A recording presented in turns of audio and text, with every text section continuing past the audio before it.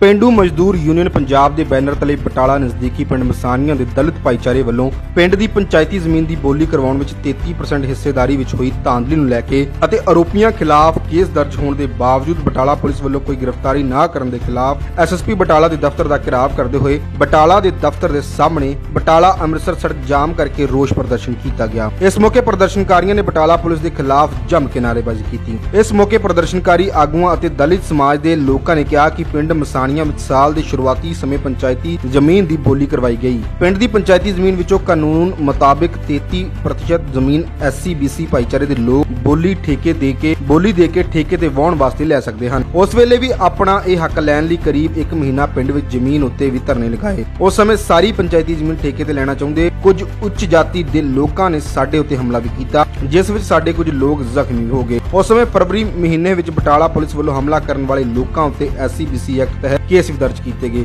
ਪਰ ਅਜੇ ਤੱਕ ਉਹਨਾਂ ਆਰੋਪੀਆਂ ਨੂੰ ਬਟਾਲਾ ਪੁਲਿਸ ਵੱਲੋਂ ਗ੍ਰਿਫਤਾਰ ਨਹੀਂ ਕੀਤਾ ਗਿਆ। ਆਰੋਪੀ ਅਜੇ ਵੀ ਸ਼ਰੇਆਮ ਪਿੰਡ ਵਿੱਚ ਘੁੰਮ ਰਹੇ ਹਨ। ਬਟਾਲਾ ਪੁਲਿਸ ਦੀ ਇਸ ਢਿੱਲੀ ਕਾਰਗੁਜ਼ਾਰੀ ਦੇ ਖਿਲਾਫ ਇਹ ਰੋਸ ਪ੍ਰਦਰਸ਼ਨ ਕੀਤਾ ਜਾ ਰਿਹਾ ਹੈ। ਜਦੋਂ ਤੱਕ ਪੁਲਿਸ ਉਹਨਾਂ ਆਰੋਪੀਆਂ ਨੂੰ ਗ੍ਰਿਫਤਾਰ ਨਹੀਂ ਕਰਦੀ, ਉਹਨਾਂ ਕਿਹਾ ਕਿ ਇਹ ਪ੍ਰਦਰਸ਼ਨ ਇਸੇ ਤਰ੍ਹਾਂ ਜਾਰੀ ਰਹੇਗਾ।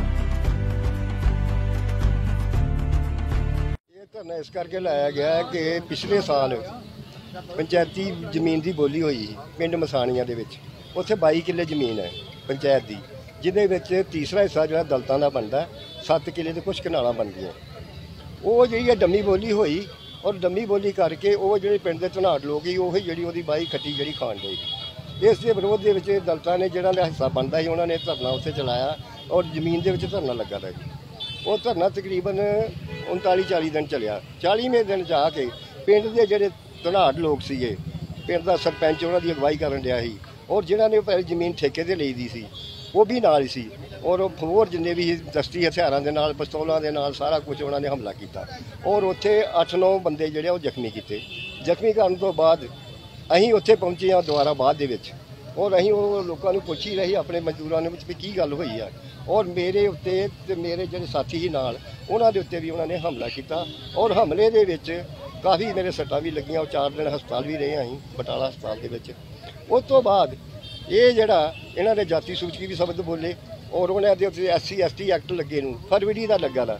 ਐਸਪੀ ਹੈੱਡਕੁਆਟਰ ਸਾਹਿਬ ਨੇ ਇੱਥੋਂ ਇਨਕੁਆਇਰੀ ਕਰਕੇ ਸਾਰਾ ਕੁਝ ਪਰਚਾ ਦਰਜ ਹੋਏਦਾ ਜੁਰਮ ਵਿੱਚ ਵਾਧਾ ਵੀ ਹੋਏਦਾ ਪਰ ਹਾਲੇ ਤੱਕ ਪੁਲਿਸ ਜਿਹੜੀ ਆ ਉਹ ਕਾਰਵਾਈ ਨਹੀਂ ਕਰ ਰਹੀ। ਇਸ ਕਰਕੇ ਅਸੀਂ ਧਰਨਾ ਲਾ ਰਹੇ ਮੰਗ ਕਰਦੇ ਹੋਗੇ ਅਸੀਂ ਮੰਗ ਕਰਨੇ ਆ ਵੀ ਜਿਹੜੇ ਦੋਸ਼ੀ ਨੇ ਜਿਨ੍ਹਾਂ ਦੇ ਖਿਲਾਫ ਪਰਚਾ ਦਰਜ ਹੋਏਦਾ ਉਹਨਾਂ ਦੇ ਖਿਲਾਫ ਜਿਹੜੀ ਕਾਰਵਾਈ ਕੀਤੀ ਜਾਵੇ। ਜੇ ਅਗਰ ਪੁਲਿਸ ਕਾਰਵਾਈ ਨਹੀਂ ਕਰਦੀ? ਨਹੀਂ ਕਾਰਵਾਈ ਕਰਦੀ ਤਾਂ ਫਿਰ ਅਸੀਂ ਇੱਥੇ ਆਏ ਨਹੀਂ ਆ। ਕੋਈ ਨਹੀਂ। ਪੇਂਡੂ ਮਜ਼ਦੂਰ ਯੂਨੀਅਨ ਪੰਜਾਬ ਵੱਲੋਂ ਅੱਜ ਇਹ ਫੈਸਲਾ ਕੀਤਾ ਕਿ ਲਗਾਤਾਰ ਜਿਹੜਾ ਐਸਐਸਪੀ ਦਫ਼ਤਰ ਅੱਗੇ ਉਨੀ ਦੇਰ ਬੈਠਾਂਗੇ, ਜਿੰਨੀ ਦੇਰ ਪਿੰਡ ਮਸਾਣੀਆਂ ਦੇ ਪਿੰਡ ਦੇ ਸਰਪੰਚ ਤੇ ਹੋਰ ਲੋਕਾਂ ਖਿਲਾਫ ਜਿਹੜਾ ਐਸਸੀ ਐਸਟੀ ਐਕਟ ਦਾ ਪਰਚਾ ਦਰਜ ਹੋਇਆ, ਉਹਨਾਂ ਉਸ ਪਰਚੇ ਦੇ ਵਿੱਚ ਉਹਨਾਂ ਸਾਰੇ ਦੋਸ਼ੀਆਂ ਦੀ ਜਿਹੜੀ ਆ ਫੌਰੀ ਤੌਰ ਤੇ ਗ੍ਰਿਫਤਾਰ ਕੀਤੀ ਜਾਵੇ। ਅਗਰ ਗ੍ਰਿਫਤਾਰੀ ਨਹੀਂ ਹੁੰਦੀ, ਇਹ ਧਰਨਾ ਜਿਹੜਾ ਨਿਰੰਤਰ ਜਾਰੀ ਰਹੂਗਾ। ਕੋਈ ਪੁਲਿਸ ਅਧਿਕਾਰੀ ਜਿਹੜਾ ਕਿਸੇ ਦੇ ਕੰਨਾਂ ਤੇ ਜੂ ਨਹੀਂ ਸਰਕਦੀ, ਪਹਿਲੋਂ ਵੀ ਧਰਨੇ ਲੱਗੇ ਆ, ਹਰ ਵਾਰ ਜਿਹੜਾ ਵਿਸ਼ਵਾਸ ਦਿੰਦੇ ਰਹੇ ਆ, ਪਰ ਵਿਸ਼ਵਾਸ ਜਿਹੜਾ ਉਹ ਅਮਲ ਦੇ ਵਿੱਚ ਤਬਦੀਲ ਨਹੀਂ ਹੁੰਦਾ।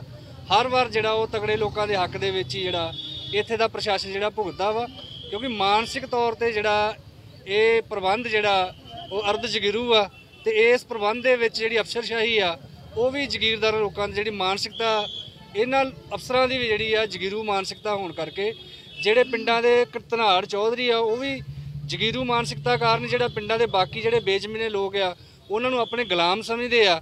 ਤੇ ਅਫਸਰਸ਼ਾਹੀ ਵੀ ਕਿਤੇ ਨਾ ਕਿਤੇ ਜਿਹੜੀ ਆ, ਉਹ ਉਹਨਾਂ ਪਿੰਡ ਦੇ ਧਨਾੜ ਚੌਧਰੀਆਂ ਦੀ ਮਾਨਸਿਕਤਾ ਵਾਲੀ ਹੋਣ ਕਰਕੇ ਜਿਹੜਾ ਉਹਨਾਂ ਦਾ ਪੱਖ ਪੂਰਦੀ ਆ। ਇਸੇ ਕਰਕੇ ਜਿਹੜਾ ਸਾਨੂੰ ਇੱਥੇ ਜਿਹੜਾ ਅੱਜ ਧਰਨਾ ਮੁਜ਼ਾਹਰਾ ਜਿਹੜਾ ਕਰਨ ਲਈ ਮਜਬੂਰ ਹੋਣਾ ਪਿਆ। ਬੇਸ਼ੱਕ ਇਹ ਜਿਹੜੀ ਭਗਵੰਤ ਮਾਨ ਦੀ ਅਗਵਾਈ ਵਾਲੀ ਜਿਹੜੀ ਸਰਕਾਰ ਆ, ਉਹ ਬਦਲਾਅ ਦਾ ਨਾਰਾ ਦੇ ਕੇ ਆਈ ਸੀ, ਪਰ ਬਦਲਾਅ ਤੁਹਾਡੇ ਸਾਹਮਣੇ ਆ। ਜਦੋਂ ਉਹ ਕਹਿ ਰਹੇ ਕਿ ਇਹਨੂੰ ਕੋਈ ਧਰਨਾ ਪ੍ਰਦਰਸ਼ਨ ਕਰਨ ਦੀ ਲੋੜ ਨਹੀਂ, ਕਿਸੇ ਨੂੰ ਟੈਂਕੀਆਂ ਦੇ ਚੜ੍ਹਨ ਦੀ ਲੋੜ ਨਹੀਂ, ਕਿਸੇ ਨੂੰ ਜਿਹੜਾ ਕੋਈ ਭੁੱਖ ਹੜਤਾਲਾਂ ਰੱਖਣ ਦੀ ਲੋੜ ਨਹੀਂ, ਤੇ ਅੱਜ ਪਹਿਲੀਆਂ ਸਰਕਾਰਾਂ ਦੇ ਰਾਜ ਵਾਂਗ ਹੀ ਜਿਹੜਾ ਭਗਵੰਤ ਮਾਨ ਦੀ ਸਰਕਾਰ ਦੇ ਰਾਜ ਦੇ ਵਿੱਚ ਵੀ ਲੋਕਾਂ ਨੂੰ ਜਿਹੜਾ ਲਾਠੀਆਂ ਖਾਣੀਆਂ ਪੈ ਰਹੀਆਂ। ਆਪਦੇ ਅਧਿਕਾਰਾਂ ਲਈ ਜਿਹੜਾ ਕਾਨੂੰਨਨ ਅਧਿਕਾਰ ਆ, ਜਿਹੜਾ ਪੁਲਿਸ ਦਾ ਆਪਣਾ ਕੰਮ ਆ, ਕਿ ਜਿਹੜਾ ਉਹਨਾਂ ਨੇ ਇਨਵੈਸਟੀਗੇਸ਼ਨ ਦੇ ਵਿੱਚ ਜਿਹੜਾ ਉਹਨਾਂ ਲੋਕਾਂ ਜਿਨ੍ਹਾਂ ਖਿਲਾਫ ਪਰਚਾ ਦਰਜ ਸੀ, ਉਹਨਾਂ ਨੂੰ ਗ੍ਰਿਫਤਾਰ ਕਰਨਾ ਸੀ। Education embraces not only facts but also values. It inculcates such good practices which may reveal our qualities and perfections in every sphere of life. We, as a part of A&M Institute, empower knowledge with practical approach. Students can accumulate knowledge and information from wide range of books, journals available in the library. We also nurture the skills of our future managers by the use of well-equipped and furnished laboratories. A&M Group of Institutes endeavors to impart such value-based education to our students. We welcome you all to A&M Group of Institutes, Pathan.